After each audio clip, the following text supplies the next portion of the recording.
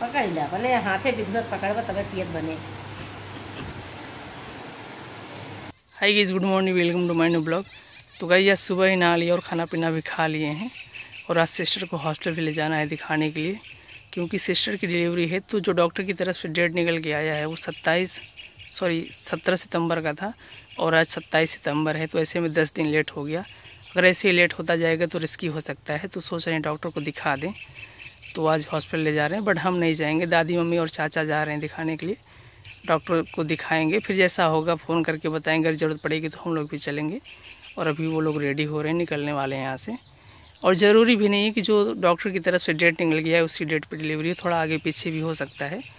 तो ज़्यादा दिक्कत वाली बात नहीं है। डॉक्टर से संपर्क कर लेना चाहिए ऐसी स्थिति में। तो वो लोग जा रहे हैं आज दिखाने के लिए। फिर जैसा होगा पता चलेगा आने के बाद। और अब सभी लोग हॉस्पिटल में जा रहे हैं दिखाने के लिए सिस्टर को।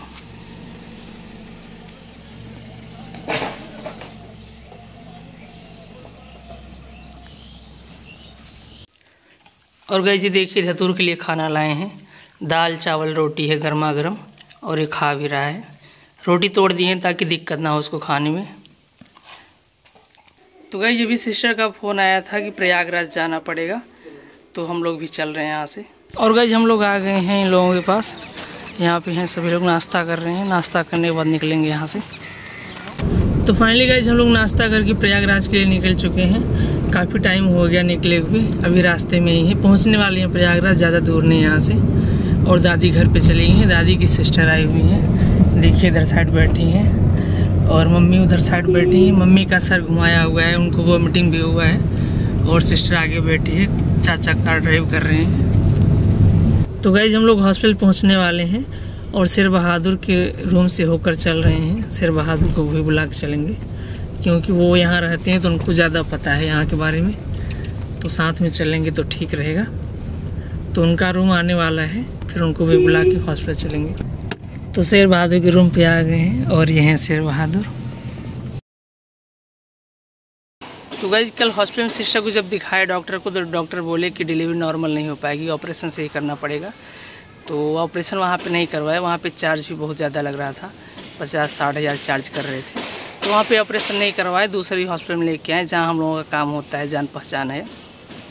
और एक रिलेशन में चाचा हैं, वो डॉक्टर भी हैं तो उन्हीं की वजह से यहाँ पे आए हैं, काम होता है यहीं पे। तो कल रात आठ बजे के आसपास, आठ बजे से थोड़ा सा पहले ही डिलीवरी हुई और बच्चा पैदा हो गया।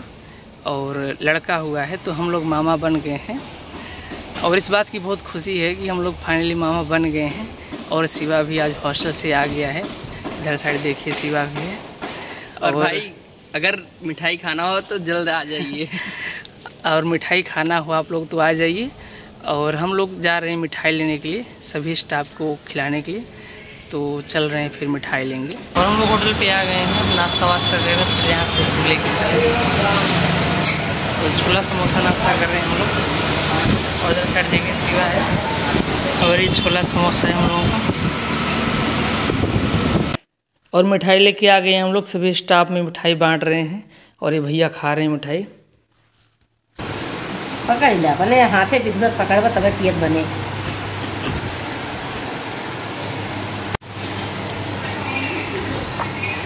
तो भाई बच्चा बहुत टैलेंटेड है देखिए अपने से पकड़ के पी रहा है।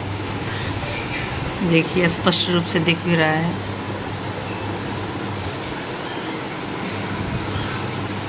इलेक्ट्रोजन है इसमें। और इधर साइड देखिए घोले हैं इलेक्ट्रोजन को गर्म पानी में और इसी से पिला रहे हैं। और भाई मार्केट से शॉपिंग करके आए हैं। ये देखिए कपड़ा है सारा। ये सारा कपड़ा है ये टॉवल है और ये भी कपड़ा है। और ये कॉम्बो पैक है इसमें सब कुछ है बेबी के लिए। और ये भी कपड़ा है, इसमें कूपन भी मिला है दो सौ रुपये का डुप्लिकेट है।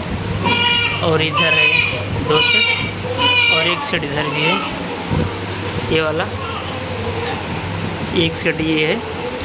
और ये पूरा कपड़ा, और बेबी जॉनसन का एक ऑयल लिए हैं, पूरा मिला के चार हज़ार रुपये पड़ा है, लगा हुआ है। और ये काफ़ी अच्छे हैं कपड़े, काफ़ी सॉफ्ट है। क्वालिटी इनकी अच्छी है। तो कपड़ा लाए हैं ये सब।